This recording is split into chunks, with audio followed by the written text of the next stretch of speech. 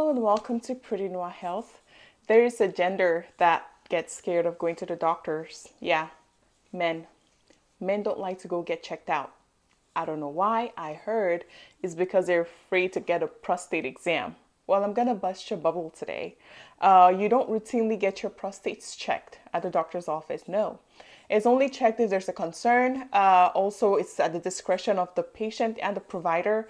Uh, the US, the task force doesn't recommend that men get their prostates checked. And however, there will only be a concern if the man reports a couple of things.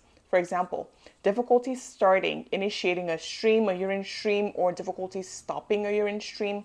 If they have pain between like the rectum and the, the testes, like that little gap right there, if they feel like pain and pressure when they go to defecate or with touch. Also, if you have a urine stream that starts and stops and starts and stops, that means that the prostate is probably enlarged. And also, they're gonna check for uh, your prostate enlargement, like I said, based on your symptomatology, what you're complaining of, what you're presenting with. The prostate is right here. It is like a little apple like this right here. That is a prostate. And then the urethra is what the urine comes out through. So if that prostate that looks like an apple is kind of enlarged, it pinches on the urethra, causing the problem with the urine flow. So if you don't have those specific concerns, then sorry, your prostate is not going to get checked. So go to the doctor. Feel free to go to the doctor every year. If you have any concerns, if you have the flu, the cold, if you're hypertensive, go to the primary care provider. Okay. I had questions about what causes erectile dysfunction in men. I talked about medications. I talked about lifestyle, uh, alcohol uh, consumption, excessive alcohol consumption, uh, smoking. Those are lifestyle diseases. Again, lifestyle causes cocaine, uh, methadone. Methadone is one of them. Uh, opiates. Opiates. I'm talking about like oxycodone, Norco, Percocets. All the opioid medications would cause erectile dysfunction uh, dysfunction, amphetamines, amphetamines, uh, the Ritalins, the Focalins, there anything that has an amphetamine base in it would cause erectile dysfunction in some men, some men, not everybody.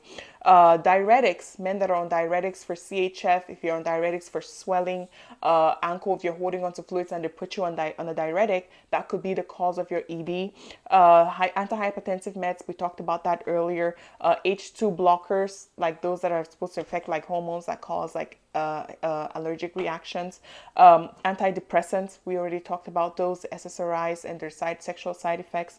Uh, we talked about the anti-epileptics. They cause um, erectile dysfunction, NSAIDs, muscle relaxants, some Parkinson's medications.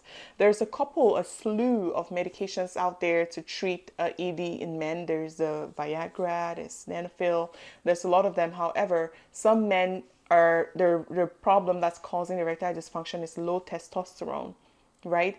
If your problem is because your testosterone level is low, don't you think you should fix the testosterone problem before you pop a pill?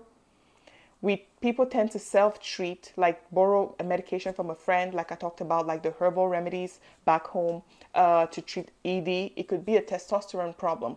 You need to go get it checked. If your levels are low then they can replace your testosterone and then you don't have that issue rather than taking medications to kind of numb a problem that can be treated right? I want us to make our health going to the doctor uh, lifestyle a priority uh, try to prevent things that would cause us problems in the long run, like I talked about the TLC, therapeutic lifestyle changes, stop smoking, stop drinking if you can, limit the alcohol of consumption, exercising, deep breathing, relaxation, therapy. Therapy is actually helpful. If you have emotional problems, you have to talk it out because those would potentiate your dysfunction as a man. We already talked about this. Again, I am Prudence. You can find me at Pretty Health on Facebook and YouTube. I have more content. I have exclusive content on there. Uh, just ask me any questions. Please don't forget to like, share, subscribe, and leave a comment again. Like always, thank you so much for watching.